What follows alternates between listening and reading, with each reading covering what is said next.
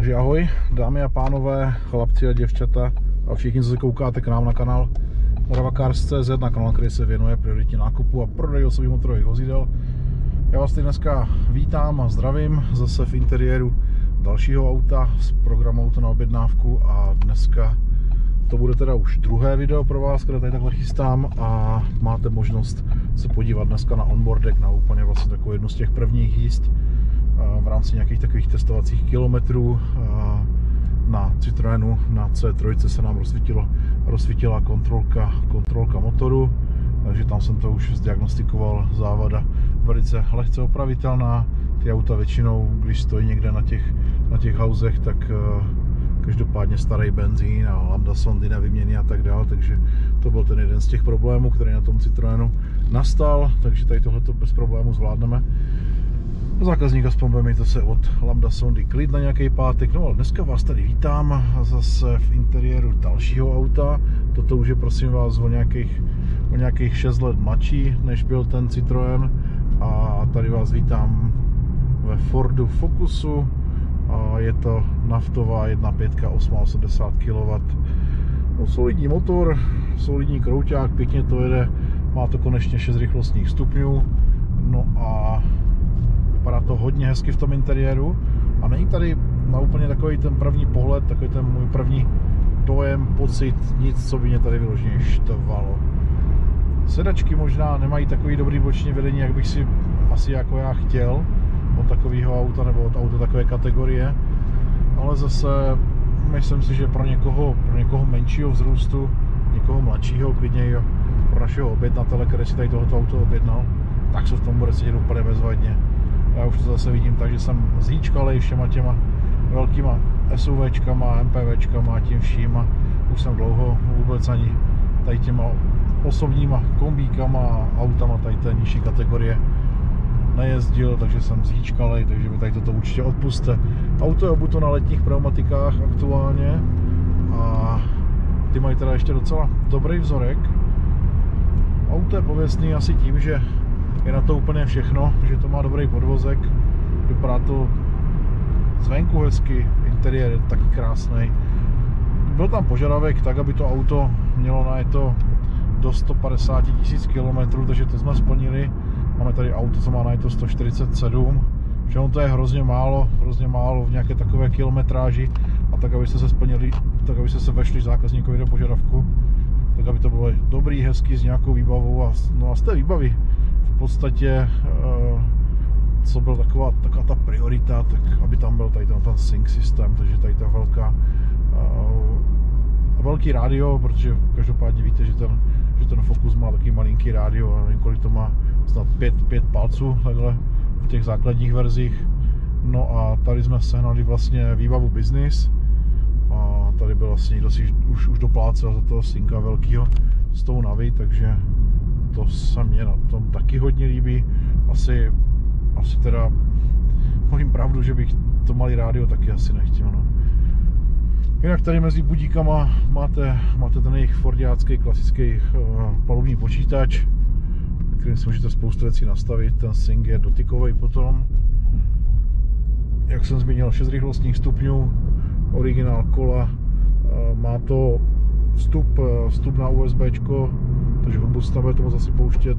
Já jsem toho synka tak ještě nějak neprohlížel, protože víte, já nemám čas na to na všechno, takže to, co to auto má nebo nemá, pro mě je priorita splnit zákazníkův požadavek, tak aby to bylo dobrý, tak aby to prostě nebylo bouraný, tak aby to nebyly nějaký zbytečný problémy, aby se tam nestrácela voda, nestrácel se olej nebo tak prostě a člověk už jako, jestli to má jestli to má MP3 nebo já nevím, nějaký jiný formát, Dáme si tady ještě start-stop systém tady. Tak to mě jako nějak netrápí. A ani jsem na tu jako výbavu takhle někdy prostě nebyl. Vždycky pro mě byla priorita spíš ten technický stav a spíš to, co to člověk nasype a to, co ho to očekává, jak to, jak to dlouho vydrží, než to má vytápěný sedačky, který si může kdykoliv dodělat. Takže, jak se povídá Fordem tam vlakem zpátky, tak to už dneska teda neplatí stoprocentně, protože tady ten Ford teda jako na to, na to, jaký to má slabý výkon, tak to úžasně táhne a relativně i jako od spodu, takže člověk, člověk zvyklý eh, zvyklý zblblej z těch, z těch vágnů, z těch dvoulitrových rachtacích TDIček a 1 devítek, tak tady tohle je docela kultivovaný, je to docela pěkně odlučený teda. Čumím, no. Nebudem tady jezdit některá závratnou rychlostí, ať zase z toho nejste špatní u té televize. Líbí se mi ten krásný volant, který je ve sporu prostě skosaný, multifunkce, trojramínko, vypadá to hodně, hodně hezky. A barva teda Silver Metallic, na barvě tam asi nějak nezáleželo v rámci té objednávky a můžu povědět asi jak to, asi jak to probíhalo, taky tady tato objednávka, protože toto je pro našeho objednatele, který k nám dojel snad, snad až někde ze, někde ze Slovenska, někam mi to vypadlo, protože byl u mě jeden z Bratislavy a druhý někde tady ze Se... Vypadlo mi to, omlouvám se, už jsem taky starý, ale dojeli v sobotu, podepisovali jsme smlouvu, platil auto v podstatě v hotovosti, v eurech, no a v eurech jsem mu tady dovezl krásného Focuse, business do rozumných kilometrů s dobrým podvozkem, s, nic, s ničím teďka extra jako nevím na výměnu a, a ještě povím jednu věc, ještě povím jednu věc, ale to vám povídat tady takhle do videa nebo ne.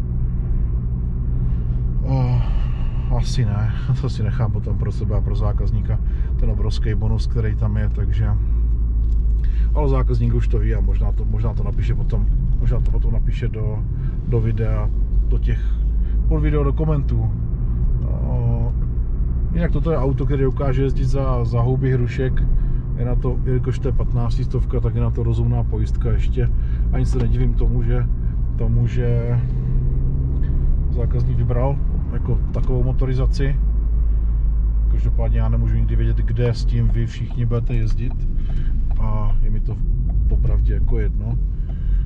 Tak, chtěl jsem si tady vzít kafe, ale asi si to udělám potom asi doma, takže otočíme se, půjdeme zpátky s tím Fordíkem. A ještě musím povědět teda, že tam byla trojice vlastně těch, těch aut. Byl tam nějaký Peugeot, to jsme tak jako nějak zamítli. Byla tam, byla tam Astra, 1.6 nafta a bylo tam tady tohleto. Všude, kde jsme, kde jsme volali, kde jsme se dívali do inzerce v rámci tady takové nějaké cenovky, tak všude byl problém s tím, že, že prostě ty oplácky motory klepaly, jo.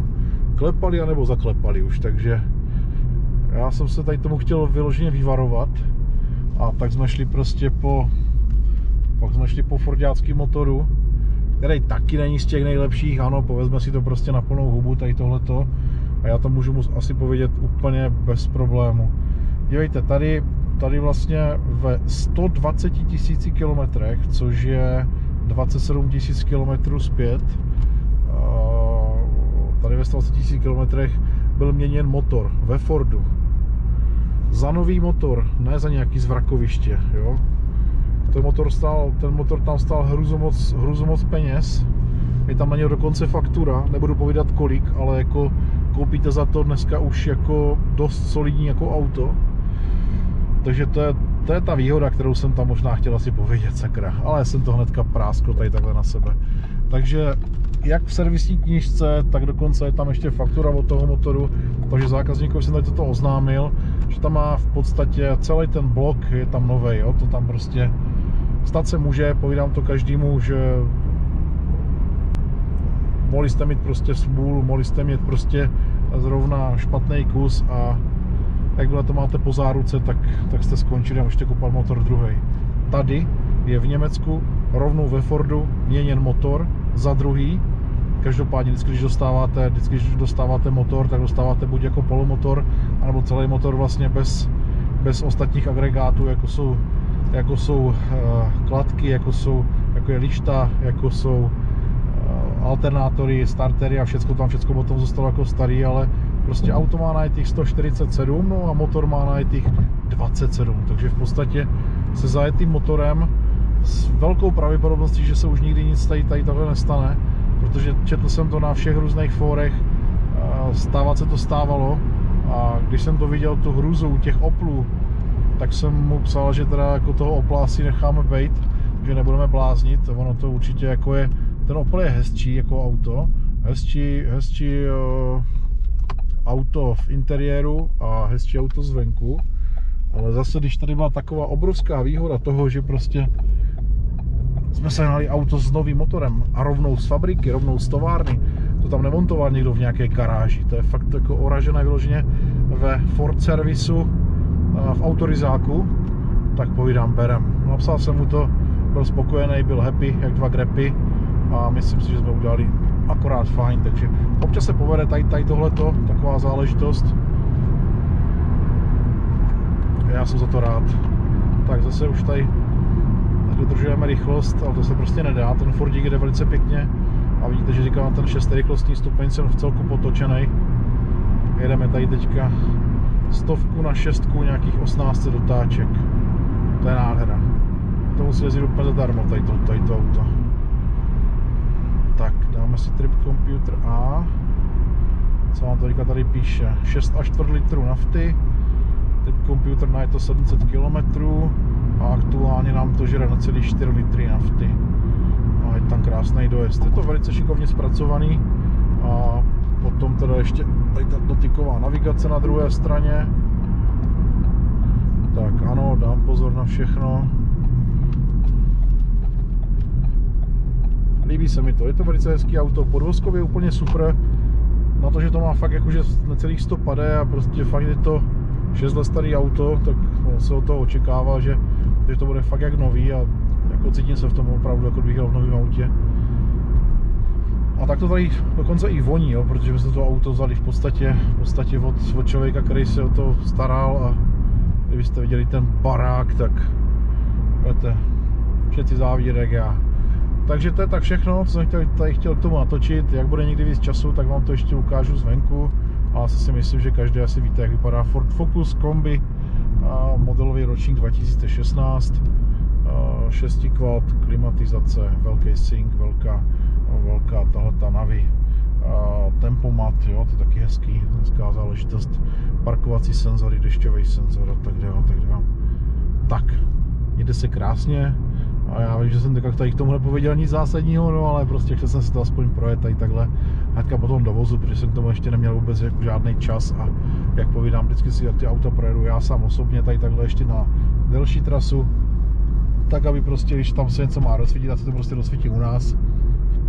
Ať my to můžeme spravit a zákazníkovi to vydat s, s čistým svědomím, s klidným srdcem, že, že se mu tam rozsvítí egreventil, že se mu tam rozsvítí prostě nějaký snímač, vole, teplotní nebo cokoliv, prostě je to vždycky na prd, když, když uděláš auto a narveš do toho peníze a všechno možný a, a pak ti tam zahlásí z ničeho nic lambda sonda, že je v prdeli a, a vypadá to, že já nevím, dneska ti lidi taky se bojí všeho, tak koupit si diagnostiku za, za pár kaček dneska už taky zvládnete sami a tady takový základní závody si potom můžete zjistit klidně i vy sami, jo, do budoucna. Nemusíte hnedka do servisu a platí tam těžké peníze. Toť vše, mějte se krásně. Já jste ještě ten, tady ten kůstík dám trošku rychlejší jízdu. Zkusím si ty zatáčky tady s tím Fordem, který má proslulej podvozek. Sakra, musím uznat, že to jede velice hezky, velice hezky. No a k tomu, že to dokáže jezdit po 6 litrů nafty, tak si myslím, že asi máte dalšího adepta. Ti z vás, který u nás ještě váháte, který auto objednat, jestli Peugeota, jestli Mercedesa, jestli takový a makový auto, tak si myslím, že určitě není špatný tady tou, tady tou starou, dobrou, osvědčenou volbou, což jsou tady tyhle ty Fordy, nějaký Peugeoty, nějaký ty Oply a tak dále, a tak dále, nějaký ty Škodovky a Wagny. Jede se hezky, snad se vám to líbilo, tady ten pokec o, o ničem úplně, pokud by to někoho zaujmulo, tak lidi napište do komentu nějaký vaše, nějaký vaše dotazy a jak bude chviličku času a dostanu se k tomu, tak vám to něco odpovím.